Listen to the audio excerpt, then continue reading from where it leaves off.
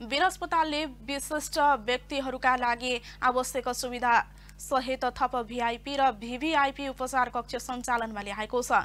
वीर अस्पतालको पुरानो भवनमा पहिलेदेखि नै भिआइपी र भिभिआइपीका लागि दुई सय छुट्याइएकोमा अहिले नयाँ सर्जिकल भवनमा तिन सय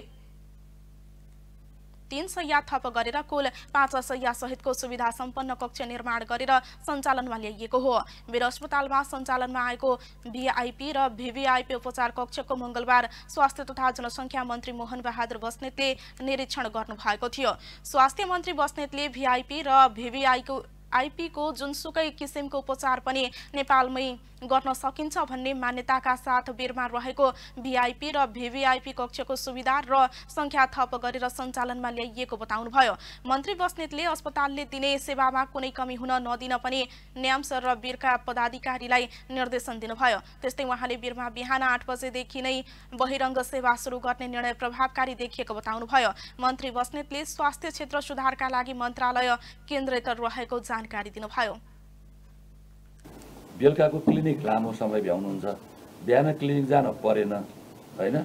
मान्छेलाई के हुन्छ भने कमाउने मात्रै धारणा हुँदैन। सेवा गरौँ भन्नु सेवा गरौँ भन्दाखेरि पनि टाइम बढी जाने रहेछ त्यो तनाव बढ्ने रहेछ। त्यसैले आठ बजेबाट चाहिँ यो सेवा सुरु गरौँ भएर मैले उहाँहरूलाई बोलाएर टिमलाई बोलाएर कुरा गरेँ।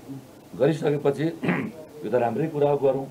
भएर भिसी साहब डिन साहबहरू रेक्टर साहबहरू डाक्टर साहबहरू सबै यो कुरामा कन्भिन्स हुनुभयो। ल उसो निर्णय गरेर अगाडि बढ्नुहोस् भने मैले।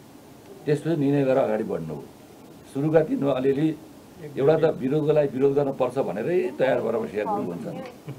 अनि त्यो ग्रुपको उलामालामा लागेर हाम्रा केही डाक्टर साहबहरूको पनि त्यहाँ वीरमै सुविधा सम्पन्न कक्षको व्यवस्था र उपचारका लागि सरकारी र निजी क्षेत्रका गरी पन्ध्र सदस्य विशेषज्ञ चिकित्सकको टिम बनाएको स्वास्थ्य मन्त्रालयले जनाएको छ। विशिष्ट व्यक्ति उपचार कक्षमा आवश्यक उपकरण सहित अतिथि सत्कार कक्ष आगन्तुक प्रतीक्षालय सहित किचेन समेतको सुविधा छ। प्राइम न्युज बाँकी नै छ।